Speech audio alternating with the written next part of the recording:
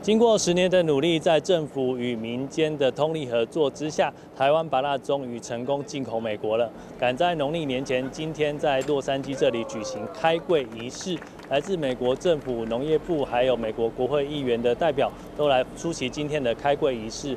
打开货柜的那一刹那，飘出阵阵的水果香气，大家都不禁惊呼：啊，这就是台湾味！赶在农历春节前，第一批载满台湾芭乐的货柜终于抵达洛杉矶。开柜仪式上，驻洛杉矶台北经文处特别邀请了包括华裔联邦国会议员赵美心等多位贵宾一同庆贺，纪念这历史性的一刻。In 2018, uh, we had about $95 billion dollars worth of bilateral trade between the U.S. and Taiwan uh, in both goods and services.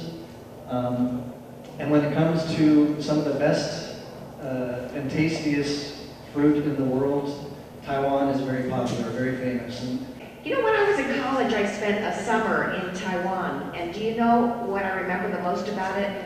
The fabulous fruits. So to think that we have never had guava from Taiwan here all this time, I cannot even believe it.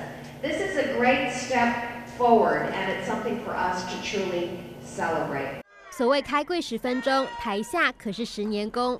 驻美代表处指出，台湾能成为第一个外销芭乐到美国的亚洲国家，除了必须依照美方检疫规定，并经过摄氏一度以下十七天冷藏，确保没有夹带果蝇外，长时间的沟通协调更是漫长的谈判过程。呃，怎么样去除虫，怎么样去施用正确的农药，都有非常严谨的过程的一个控管。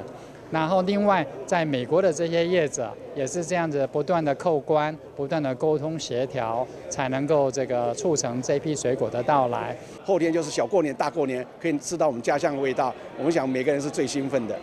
这一批十三公吨的芭乐，业者表示，各大通路早已预定一空，超市上架售价为每磅四点九九美元，光是西岸就已经供不应求。美国东岸要吃到台湾芭乐，还要再等下一批。